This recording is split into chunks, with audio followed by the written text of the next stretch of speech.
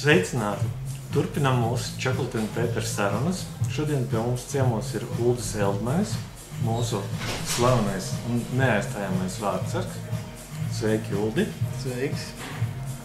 Nu, pastāsti, kā tev sācies hokejs, jo tas ir interesanti tomēr. Hokejs sāku spēlēt diezgan pavēlu, gados 14, 15. Es pats tā kā esmu liepainieks, tad sāku spēlēt tikai, kad liepāju halu uzcēlu. Pirms tam nodarbojos ar futbolu, spēlēju futbolu. No kād, gadus kādus 8, 9. Tā kā pēc tam pārgāju uz hokeju. Nu, Bija pirmais ļoti labs treneris, Mikls Vasiljonis, kas spēlēja Dienāmo Rīgā. Nu, iemācīja ļoti labi visus pamatus, un, un, un pēc tam, pēc gada pusotra, spēlēja Latvijas virslīgā pie vājākās komandas un Latvijas pirmajā līgā pie vājākās komandas, kas izaugsmē deva ļoti daudz. un Pēc tam man jau savāca uz Rīgu spēlēt, nu, un spēlēja pie ASK Ogres un pie Rīga 85. Bet pēc tam, nu, Dabūju traumu un arī citu apstākļu dēļ. Tā kā Latvijā hokejs nav tas Latvijas līmenī apmaksātais sports veids, sapratu, ka nav vērts to turpināt. Nu, un aizgāju spēlēt tam tie līmenī, kur Bārts ar garību var nopelnīt normāli salīdzinošu naudu, bet nu, tā man vairs nav pamat nodarbošanās. Uh, kāpēc tieši hokejs? Nezinu, nav tā, ka man baigi tur iepatikās televizorā viņu skatīties. Vienkārši jūt, ka tas būtu sporta veids priekš manis. Patika to spēlēt, it sevišķi vārtos gribēju stāv- stāvēt. Nu, visus futbolu, florbolu, visas spēlēju uzbrucējus, bet hokeju tieši gribēju vārtos stāvēt. Nezinu, jūt, kā tas ir priekš manis. Nopietni. Jā. Jo man likās, ka vārdsargs parasti aiziet uz uzbrucēju, bet beigās vārdsargs iel- ieliek vārtos. Nē, ir, ir tādi, jā, ko bērnībā tur gados 6, 7, ka pats tur vēl nevar izdomāt. Ir, ka treniņš tur ieliek vērtos, bet nē, es pats to izvēlos. Tā bija mana izvēle. Es pats ļoti gribēju iestāvēt vērtos. Jo teicama izvēle. Tad tev tā sportiskā attīstība principā bija ļoti profesionāli nostādīta jau no paša sākuma. Nu, jā, bet nu, priekš hokeja es sāku diezgan vēl, Nu. 14, 15 gadi. Nu, tas ir diezgan pavēl, bet priekš tā, cik es esmu paspēlējis, tas ir bijis diezgan ok. Un um, tajā laikā tev bija kāda komanda vai kāds vārdsargs, kurš tev bija tā kā, nu, Alks vai kaut kāds Tajā laikā vai tagad vispār? Tajā.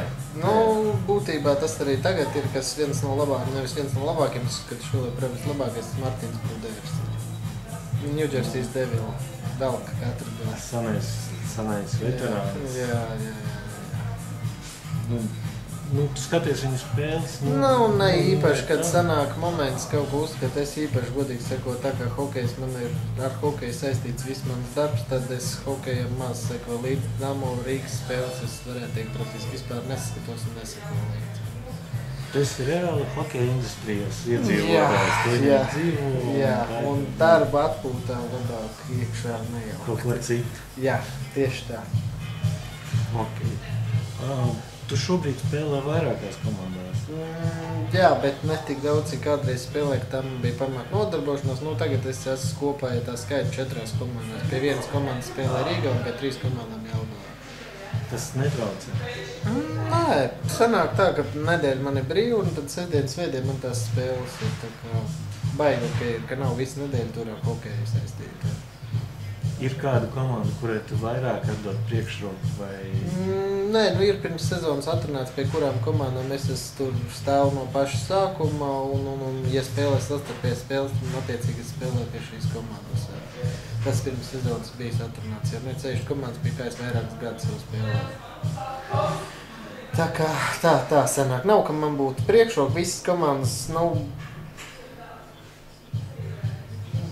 Ir tādi, kuri patīkami kolektīvi, un ir varbūt reizēm tā, ka ir kaut ko kādā komandā ar kāds nepatīkamāks brīdis, bet, nu, jebkurā brīdī man ir iespēja to pamest un nespēlēt attiecīgi šajā komandā. tev ir plašas izvēles? Nu, ir izvēles iespējas, bet, nu, nav tā, ka es tagad baigi grautos vēl uz kādu komandu, lai kaut ko spēlētu papildus. Pilnībā pietiek tik, cik pagaidām ir. Tev ir kaut kādi profesionālie mērķi, vai tas ir Hokejā? Hokejā. Nē, man nav. Es esmu paspēlējis te Latvijas virslīgā augstāk. Tik cik es esmu spēlējis, nu, bija jābūt arī veiksmē, lai tiktu, nu, ja man pat piedāvāt, man ir piedāvāts Latvijas virslīgā, ka lietas spēlēt, bet, nu, tur ir salīdzinoši pa kapekām, un tas laikietilpīgi, un man tas nav vajadzīgs vairāk. Labāk vienkārši dzīvot Jā. to dzīvi, ko esi izvēlējies. Jā, nu, tas ir- nekad dzīvo dzīvi, ko es izvēlējos, var nopelnīt daudz labāk, daudz savādākos veidos, un tas ir patstāvīgi, ka tev, tu neesi ne no viena atkarīgs, un ka tu dabū no traumu, kurā brīdī tev pateiks paldies uzmanību, un neviens tev nepaprasīs nekā tev iet nekā. Tāds ir sports, nu, it sevišķi profesionālais, nu, cik nu viņš Latvijā vispār ir hokeja ziņā profesionāls. Man visu laiku satrauc viens jautājums. Ko tu jūti, kad milzīgā uh, ātrumā ripa lido tev virsū? Mm, neko. Ķēru, ķēru viņu un atsit viņu. Nu, nav nekāda ne tur izbīde vai, vai, vai bailes vai kaut kādas tur nepatīkamas sajūtas. Pie tā ir pierasts un koncentrējos tikai uz to, lai viņi notiek. Nevis izvairīties no viņas. Sākumā nebija tā O, nē, tas arī varbūt ir tā atšķirība, ko tu teici, ka ir spēlētāji, ko treneris tur bērnību izvēlas likt vārtos. Ja pats to negrib, nevar būt par labu vārdu. Nevar ielikt un pēkšņi viņš kļūst par labu vārdu. Tas ir jādara. Ja negrib, tad es domāju, tur nekas labs sanāk. Tad tu nebaidies no kā. Mm -hmm, nē. Man arī nekas nav pretī reizēm. Ja kāds uzbrucējs iedomājas, ka viņš man var pagrūstīt, ierādīt viņam savu vietu arī. Pie borta. Mm, vienalga. Jā, klausies, vai ir sāpīgi, ka trāpa tā ripa, piemēram, tev kaut kur Mm, ķermeņa Nu, ir, kad kaut kur kad kaut kāds aizsargs paslīd nost, ir iespējams, ka trāpa kaut kādu sāpīgu vietu, bet būtībā ne tie mūsdienu ekipējumi, kas ir ceļš profesionālie, viņi ir ļoti labi aizsargāti, ka ļoti grūti ir trāpīt kaut kādā sāpīgā vietā. Bet, nu, prot, protams, gadās. Jo, kad mēs skatāmies no malas, mums vienmēr liekas, tas ir ārkārtīgi. Nu, sāpīgi. Nē, nē, nē. Kādreiz ir ceļš, kas sāk to hokeju, tad bija tie vecie krīvu laika inventāri, ka nebija tur iespējas nopirkt to labāko. Tad, jā, tad bija tā, bet nu, tāpat tās no tās ripas nebaidies un ķēri tur nāca mājās ar tur zilu plaukstu vai vēl kaut ko zils tur uz krūtīm bija, bet, nu, it ceļš tad sākumā tas azarts vēl bija tik liels, ka, nu, tas, tas netraucē te visu un nekādu baiļu sajūtā teikt, tas neiedēs. Super. Negaidīti. absolūti.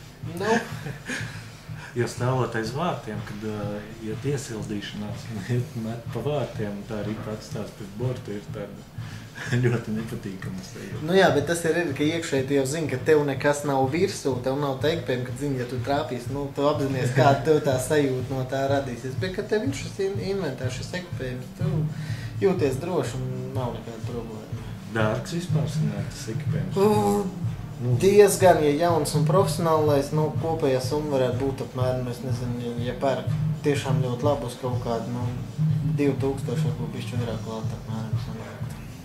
Nu, labi, ka vienīgais, ka vecumā tu ne, ne tik ātri augst.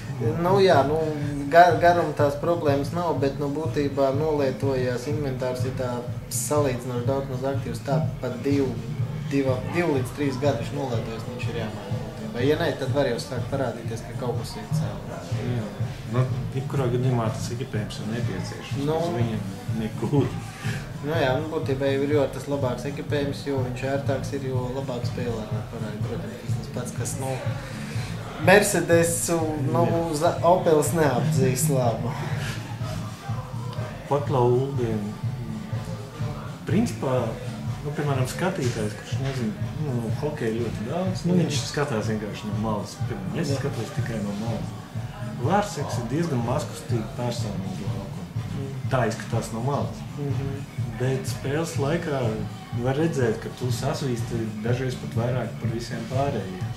Ar ko tas saistīts? Nu, man patīk arī pastaigāt ārpus vārtiem, iesaistīties spēlē, jo nu, reizēm es varbūt redzu, ka pat dažās epizodēs man nepieciešams iziet no tiem vārtiem, lai palīdzētu komandai arī. Bet nu, nosvīs, nu, tomēr tai formā ir uh, savs svars, kas ir ap 20-25 kg un lēkājot augšā lejā. Un, Tā ventilācija ādai, tā teikt, un ķermenim nav tik liela, ka radās tie sviedri un, un, un, un sanāk nosvīst diezgan normāli arī dažās spēlēs. Jā.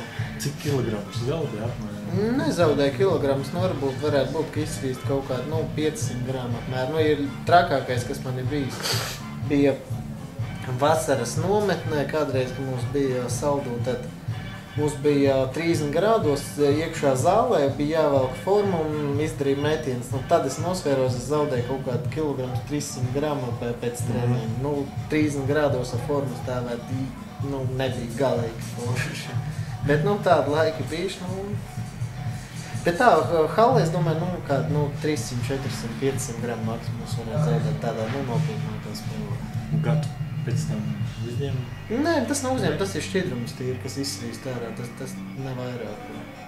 Nav, nav tā, ka zaudēt tīri savu spēku. Nu, nodedzina varbūt kaut ko, bet tik smalks nāc iedzināt. Nu, tu arī dzīvo Rīgā, nu, vismaz Jā, es tagad pārcēlos atpakaļ uz Rīgā. Es divus gadus tagad Uzalnikos nodzīvoju, bet nu, tagad es pārcēlos atpakaļ uz Rīgā pusgadu, ko dzīvoju Rīgā. Tā braukšana tev ir absolūti. Oh, nē, netraucē. Galīgi nav traki. Tad par to sestdienu, svētdienu aizbraukt nospēlēt spēli divas.